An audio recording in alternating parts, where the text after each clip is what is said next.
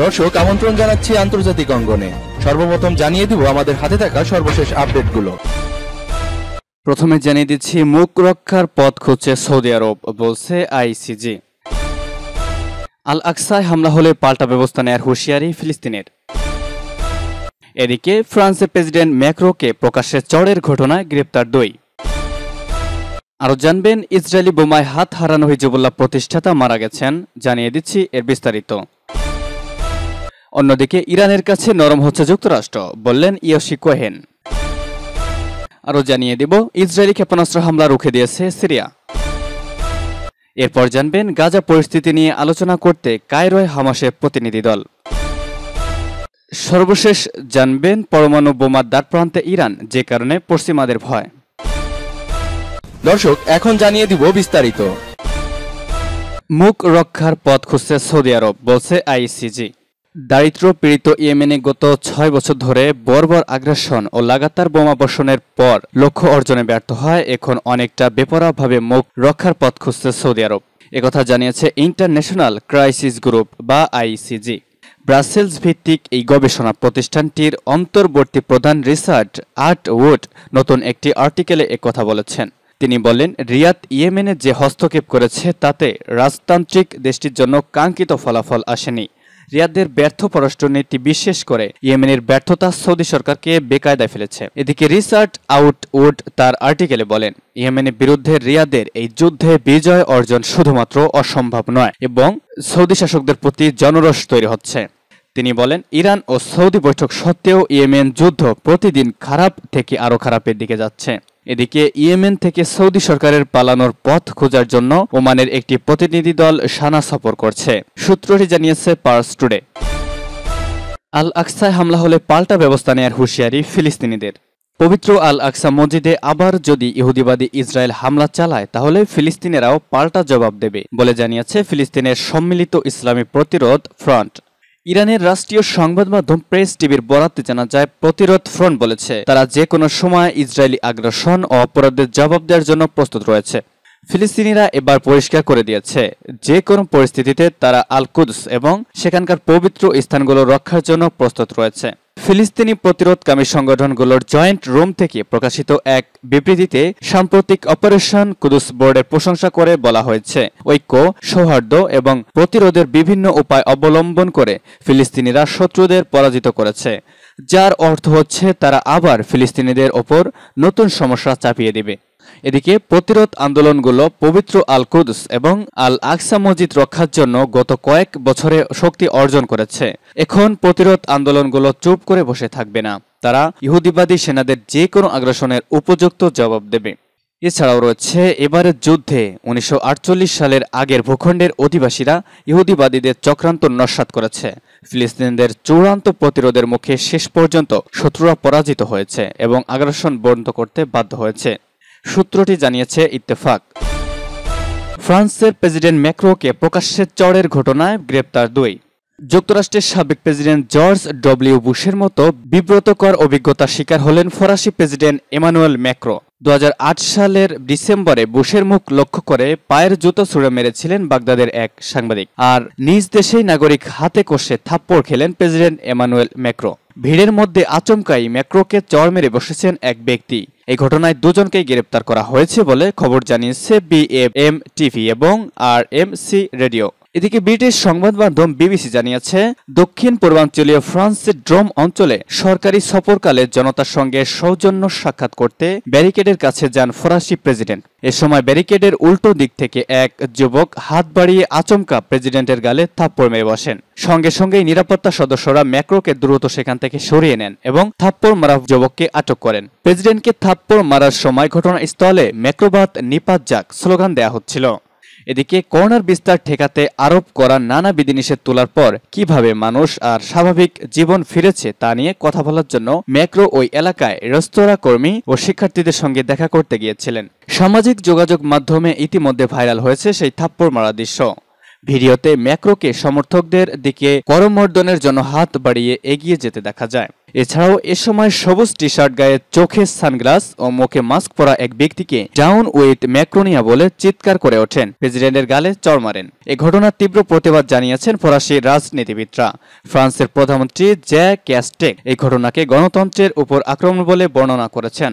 এছাড়াও ঘটনার পরপরই ফরাসি প্রধানমন্ত্রী জ্যা ক্যাসেক্স ফ্রান্সের জাতীয় সংসদে বলেছেন গণতন্ত্রে বিতর্ক এবং বৈধ মত পার্থক্য থাকতে পারে, তবে এর অর্থ কোনোভাবেই সহিংসতা, মৌখিক ও শারীরিক আক্রমণ হওয়া উচিত নয়। ইসরায়েলি বোমায় হাত হারানো হিজবুল্লাহ প্রতিষ্ঠাতা মারা গেছেন।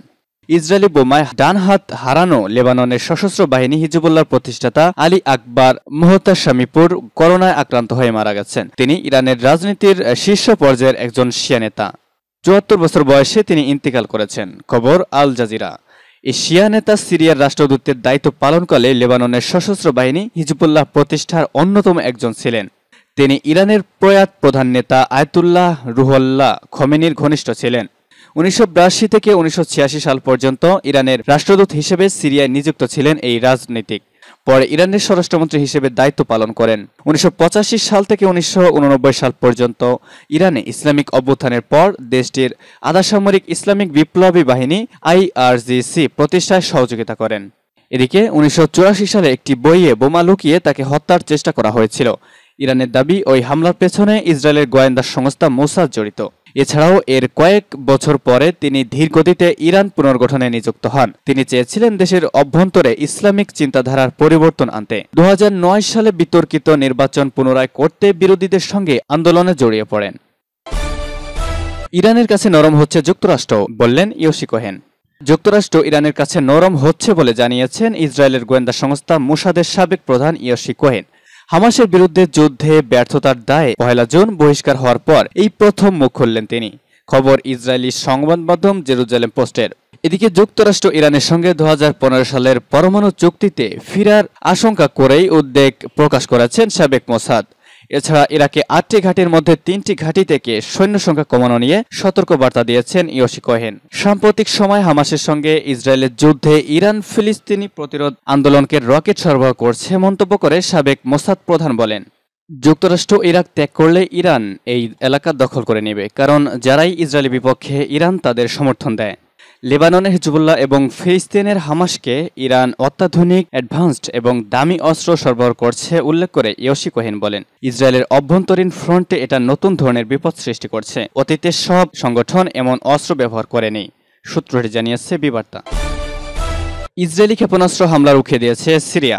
রাজধানী দামেস্কের উপর ইসরায়েলের একটি ক্ষেপণাস্ত্র হামলাকে রুখে দিয়েছে সিরিয়ার বিমান প্রতিরক্ষা বাহিনী।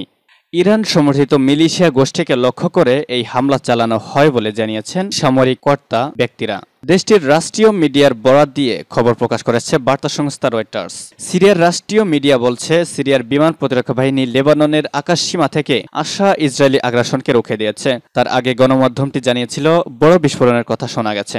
সিরিয়ার সামরিক বাহিনীর একটি সূত্র উদ্ধৃত করে বলা হয়েছে, অবস্থানগুলোর বিশদ বিবরণ ছাড়াই মধ্য ও দক্ষিণাঞ্চলের কিছু অংশকে লক্ষ্য করে এই হামলা চালানো হয়। তারা কেবল অল্প ক্ষতি করতেই পেরেছে। এদিকে কিছু রাষ্ট্রীয় প্রচার মাধ্যম বলছে, প্রতিবেশী লেবাননকে সংযুক্ত করা হোমস প্রদেশে এই হামলা চালানো হয়েছে। সীমান্তবর্তী অঞ্চলটি ইরান সমর্থিত লেবাননের শক্তিশালী শিয়া হিজবুল্লাহ দখল করে আছে। এছাড়া রয়টার জানিয়েছে, ইসরায়েলি সামরিক বাহিনীর পক্ষ থেকে এই বিষয়ে তাৎক্ষণিকভাবে এখন পর্যন্ত কোনো মন্তব্য পাওয়া যায়নি। যদি এটি সত্য হয়, তাহলে তা হবে এই এক মাসের প্রথম ক্ষেপণাস্ত্র হামলা। সূত্রটি প্রকাশ করেছে ইত্তেফাক। গাজা পরিস্থিতি নিয়ে আলোচনা করতে কায়রোয় হামাসের প্রতিনিধি দল। ফিলিস্তিনের ইসলামী প্রতিরোধ আন্দোলন হামাসের একটি প্রতিনিধি দল যুদ্ধোত্তর গাজা পরিস্থিতি নিয়ে আলোচনা করার জন্য মিশরের রাজধানী কায়রো সফরে গেছে। হামাসের পলিটিক্যাল ব্যুরোর প্রধান ইসমাইল হানিয়ার নেতৃত্বাধীন শক্তিশালী প্রতিনিধি দলটি কায়রো পৌঁছাচ্ছে। হামাস এক বিবৃতিতে জানিয়েছে, এই প্রতিনিধি দলটি গতকালই কায়রোতে পৌঁছেছে। এই প্রতিনিধি দলে রয়েছেন সংগঠনের উপপ্রধান মুসা আবু মারজুক এবং হানিয়ার সহকারী সালে আল আরোরি সহ আরও পাঁচ সিনিয়র নেতা। প্রতিনিধি দলটি গাজা উপত্যকার ওপর থেকে ইসরায়েলি অবরোধ প্রত্যাহারের উপায় সহ অন্যান্য বিষয়ে মিশরের কর্মকর্তাদের সঙ্গে আলোচনা করবেন। ইহুদিবাদী ইসরায়েলের সঙ্গে মিশরের স্বাভাবিক কূটনৈতিক সম্পর্ক রয়েছে এবং সাম্প্রতিক যুদ্ধবিরতিতে কায়রো, তেল আবিব ও গাজার মধ্যে মধ্যস্থতাকারীর ভূমিকা পালন করছে। মে মাসের গোড়ার দিকে আল আকসা মসজিদে মুসল্লিদের ওপর ইসরায়েলি সেনাদের ব্যাপক দমন অভিযানের প্রতিবাদে গাজা উপত্যকা থেকে ইসরায়েল অভিমুখে রকেট নিক্ষেপ শুরু করে প্রতিরোধ আন্দোলনগুলো। দখলদার ইসরায়েল টানা বারো দিন ধরে গাজা উপত্যকার বেসামরিক অবস্থানে বিমান হামলা চালিয়ে তার জবাব দেয়। এছাড়াও ইসরায়েলি বিমান হামলা শুরু করার সঙ্গে সঙ্গে গাজা থেকে ইসরায়েলের বিভিন্ন শহর লক্ষ্য করে হাজার হাজার রকেট নিক্ষেপ করতে থাকে। হামাস ও ইসলামী জিহাদ আন্দোলন সহ অন্যান্য প্রতিরোধ সংগঠন। তারা এই বারো দিনে জেরুজালেম, তেল আবিব এমনকি দূরবর্তী হাইফা শহরে চার হাজারের বেশি রকেট নিক্ষেপ করে ইহুদিবাদীদের অন্তরে কাঁপন ধরিয়ে দেয়। এছাড়াও ফিলিস্তিনিদের রকেট পাল্লা ও নিখুঁতভাবে আঘাত হানার সক্ষমতা দেখে তেল আবিব বারো দিনের মাথায় যুদ্ধবিরতি মেনে নিতে বাধ্য হয়। সূত্র পার্স সর্বশেষ জানবেন পরমাণু বোমার দান প্রান্তে ইরান, যে কারণে পশ্চিমাদের ভয়। ইরান পরমাণু বোমা তৈরির দ্বার প্রান্তে পৌঁছে গেছে বলে মার্কিন পররাষ্ট্রমন্ত্রী অ্যান্টনি বিলিংকেনের বক্তব্য বিশ্ব মিডিয়ায় ব্যাপকভাবে আলোচিত হয়েছে। তিনি বলেছেন, যদি এখনই রাশ টেনে ধরা না যায়, তবে কয়েক সপ্তাহের মধ্যে তেহরান পারমাণবিক বোমা বানিয়ে ফেলতে পারে। একই ধরনের সতর্কবার্তা দিয়েছেন জাতিসংঘের ইন্টারন্যাশনাল অটোমেটিক এনার্জি এজেন্সি সংস্থার মহাসচিব রাফায়েল মারিয়ানো গ্রোসি অভিযোগ করে বলেছেন, ইরান তার পরমাণু কর্মসূচির নজরদারির ব্যাপারে আইএইকে কোনো সহযোগিতা করছে না, এমনকি সংস্থা কোনো প্রশ্নেরও জবাব দিচ্ছে না। তবে মার্কিন পররাষ্ট্রমন্ত্রী ও আইএই এর মহাসচিবের হুঁশিয়ারি উড়িয়ে দিয়েছে ইউরোপীয় ইউনিয়ন। তেহরানের বিরুদ্ধে কোনো অ্যাকশনে যাবে না বলে জানিয়েছেন তারা। পরমাণু চুক্তি চলাকালীন করণেই সবার জন্য মঙ্গল বলে মন্তব্য করছে। আজকের মতো এখানেই শেষ করছি। সবার আগে সর্বশেষ সংবাদ জানতে আমাদের চ্যানেলটি এখনই সাবস্ক্রাইব করে রাখুন। ধন্যবাদ এতক্ষণ সাথে থাকার জন্য।